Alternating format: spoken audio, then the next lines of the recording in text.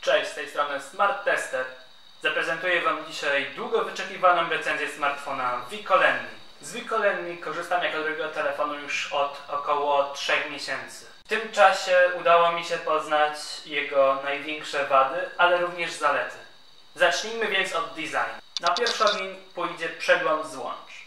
Na górnej krawędzi urządzenia znajdziemy złącze micro USB 2.0 oraz złącze mini jack 3,5 mm.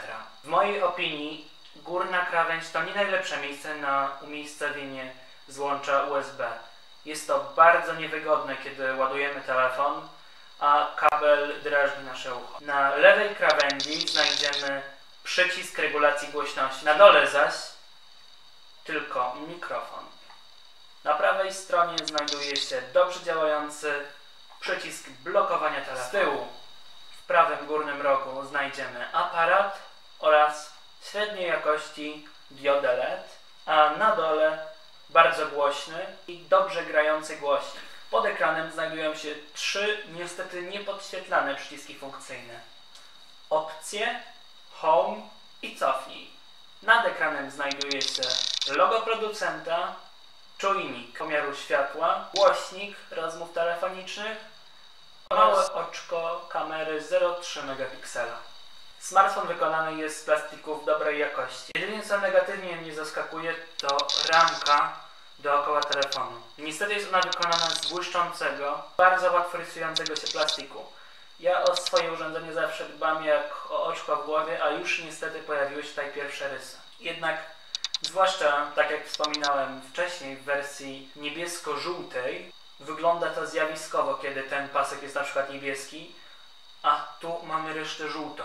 Co najlepsze w tym telefonie, jest on budową podobny do starej poczciwej Sony Xperia Soli, czyli ekran naklejony jest na telefon. Przednia warstwa ramki wykonana jest z chropowatego, bardzo ładnego plastiku, który często występuje w innym kolorze niż ten po środku.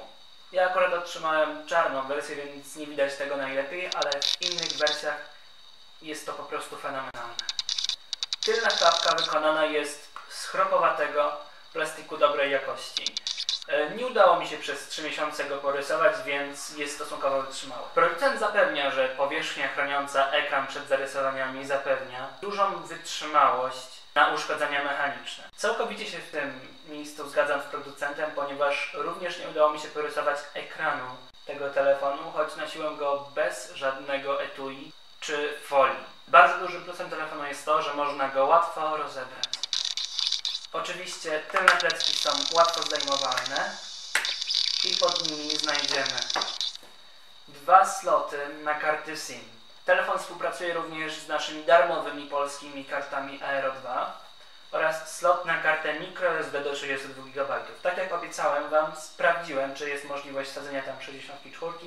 Niestety telefon nie obsługuje tak dużych kart. Zestaw uzupełnia bateria o pojemności 1800 mAh. Dużym atutem Lenny jest również to, że producent dostarcza wraz z nim dwie klapki baterii.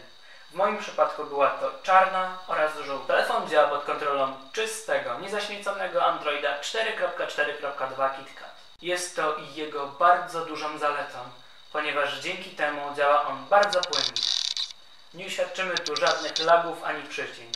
Wszystko działa błyskawicznie. Producent nie zapomniał jednak o swoich klientach i dorzucił kilka naprawdę bardzo potrzebnych aplikacji. Jest to na przykład latarka, aplikacja do tworzenia kopii zapasowej, która umożliwia również przeniesienie danych aplikacji tego urządzenia na nowe. Menadżer plików, prosty notatnik, czy również organizer. Producent nie zapomniał również o dodaniu modułu radia FM. Do jego działania potrzebne są niestety słuchawki, które na szczęście zostały dołączone przez producenta w zestawie.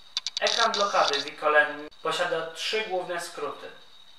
Odblokuj, połączenia oraz aparat. Nie obsługuje on jednak widgetów, które dostępne są w innych urządzeniach z czystym systemem Android. Do słuchania muzyki producent oddał dwie aplikacje. Googlowską Muzykę Play oraz swoją aplikację Muzyka. Choć aplikacja Vico nie powala interfejsem, jest ona bardzo wygodna, ponieważ posiada wiele opcji. Mamy również możliwość korzystania z natywnej aplikacji Muzyka Play, która udostępnia nam również możliwość zasubskrybowania jej za jedyne 20 zł miesięcznie i nielimitowanego dostępu do wielu milionów utworów online i również offline. Jeżeli chodzi o sam głośnik główny, to Vico radzi sobie bardzo dobrze. Jest on głośny i dobrze reprodukuje dźwięk. Na pierwszy rzut oka wydawać by się mogło, że nie jest on umieszczony w najlepszym miejscu. Jednak co bardzo zaskakujące, naprawdę bardzo trudno go zasłonić. Nie wiem jak inżynierom z Vico udało się tego dokonać, jednak zasłonięcie go i wyciszenie jest praktycznie niemożliwe. Możecie się o tym przekonać oglądając mój poprzedni film o Vico, jak Vicolemni radzi sobie w grach. Dopiero kiedy położymy telefon na poduszce czy jakimś innym miękkim materiale, dźwięk bardzo traci na głośności. Niestety tylu dobrych słów nie mogę powiedzieć o słuchawkach, które są dołączone wraz z telefonem Vicolemni. Jest to model douszny, nie gwarantujący dobrej jakości muzyki. Jednak nawet w przypadku zastosowania lepszych słuchawek, jakość muzyki na Vico nie powala. Dlatego też, jeżeli bardzo zależy Wam na słuchaniu muzyki w dobrej jakości na Vico i macie już drogie słuchawki, to nie jest to najlepszy wybór. Jednak jeżeli macie zamiar oglądać tylko i wyłącznie filmy na YouTubie, a głównie przez głośnik lub zewnętrzny głośnik Bluetooth, to naprawdę bardzo dobry wybór. Do oglądania filmów udostępniono zaś jedną aplikację. Jest to niepolskojęzycznie brzmiąca Videos. Nie posiada ona najlepszej bazy kodeków, więc od razu polecam Wam zainstalować inną aplikację do odtwarzania filmów z Google Play.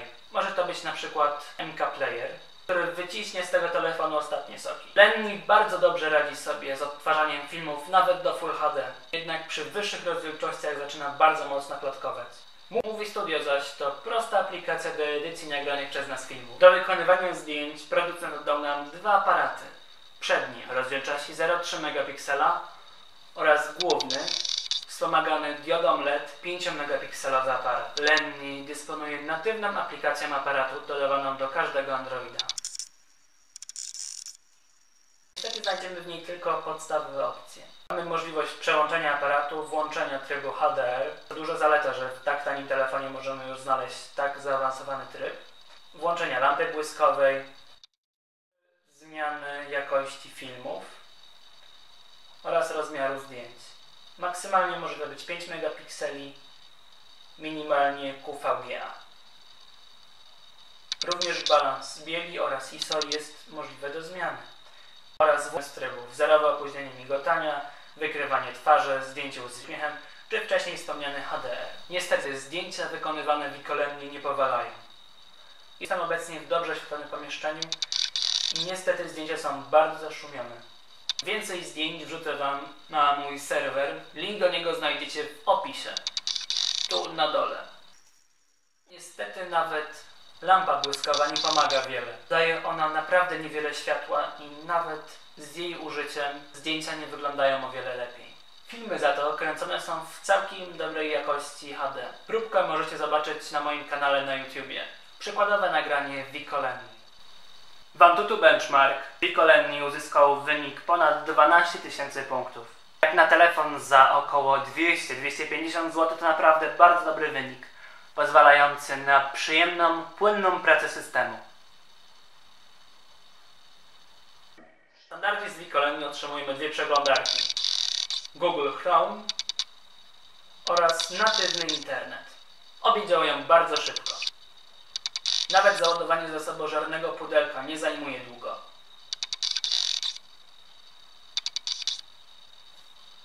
Przełączmy się do pełnej komputerowej wersji.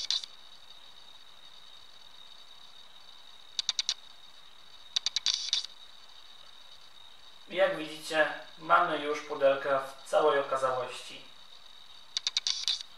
Powiększanie i zmniejszanie również działa bardzo szybko. Wprawdzie musimy czekać jeszcze chwilę na doładowanie reszty treści, jednak w telefonie za te pieniądze jest to naprawdę bardzo szybko. Ok, wejdźmy jeszcze na drugą wysokożerną stronę, na gazeta.pl i zobaczmy jak radzi sobie tutaj Wiko.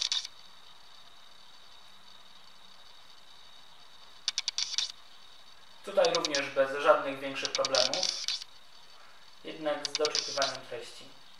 Powiększanie działa bardzo szybko. Naprawdę przeglądanie internetu na tym telefonie to czysta przyjemność.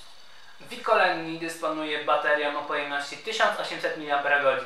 Wydawać by się mogło, że to bardzo mało, ponieważ najnowsze flagowe smartfony dysponują prawie dwukrotnie większymi bateriami. Jednak co zaskakujące, dla Lenni to aż nadto. Smartfon wytrzymuje nawet tydzień podczas zrównoważonego użytkowania. Oczywiście, oczywiście, jak każdy inteligentny telefon, można wyładować jego baterię kilka godzin. Jednak jeżeli nie będziemy go nadmiernie katować, to bateria powinna wytrzymać nawet pełen tydzień, a w przypadku intensywnego użytkowania spokojnie cały dzień. Na koniec zostawiłem sobie jednak dwa małe, a bardzo upierdliwe problemy. Pierwszy z nich to to, że kiedy otwieramy aplikację i chcemy się między nimi przełączyć, czy zamknąć je wszystkie, to musimy przycisnąć przycisk wszystkich opcji i przytrzymać. Ok, zrozumiałe, genialne. Ale kiedy już zamkniemy to wszystko, to nie wracamy na pulpit, tylko do edycji pulpitu. Żeby wrócić na pulpit musimy jeszcze raz kliknąć. Nie jest to duży problem, jednak jest to bardzo uciążliwe, zwłaszcza kiedy często wyłączamy wszystkie aplikacje, czy przyłączamy się między nimi. Drugi problem to to, że w trakcie aktualizacji oprogramowania za każdym razem optymalizowane jest kilkaset aplikacji. W momencie, w którym dostałem telefon do testów, od razu sprawdziłem, czy jest dostępna aktualizacja systemu. Była, zainstalowałem. Przed aktualizacją systemu nie instalowałem żadnej dodatkowej aplikacji. Jednak system stwierdził, że musi zoptymalizować ponad 200 aplikacji. Co najdziwniejsze, po pierwszej aktualizacji system zasygnalizował, że jest dostępna kolejna aktualizacja. I cały ten proces powtórzył się trzykrotnie. Jest to według mnie nie najlepiej rozwiązane, dlatego też oczekuję, że Vico rozwiąże ten problem już niedługo. Całkiem możliwe, że przy aktualizacji do Androida 5.0 Lollipop, o której mówi się w kuluarach. Podsumowując, Vicolenni to naprawdę ciekawa propozycja dla osób, które nie chcą wydać kilku tysięcy złotych na nowy telefon. Jest on bardzo ładny, dostarczany przez producenta w bardzo bogatym zestawie. Według mnie największym minusem tego telefonu to średniej jakości przetwornik dźwięku. Co zaskakujące jednak, głośnik gra bardzo dobrze, więc nie ma się o co martwić. W tej cenie to naprawdę bardzo atrakcyjna propozycja, bo za około 200-250 zł otrzymujemy telefon, który śmiało może stawać w szranki z najlepszymi smartfonami. Oczywiście nie ma on wszystkich dodatkowych funkcji, które posiadają droższe telefony, jednak dla początkującego użytkownika telefonu to w zupełności wystarczy. To już wszystko na dziś. Dzięki Wam za oglądanie. Oczywiście zachęcam do klikania łapek w górę, subskrybowania mojego kanału oraz zapraszam na mój kolejny film, który ukaże się już niebawem. Do zobaczenia. Cześć!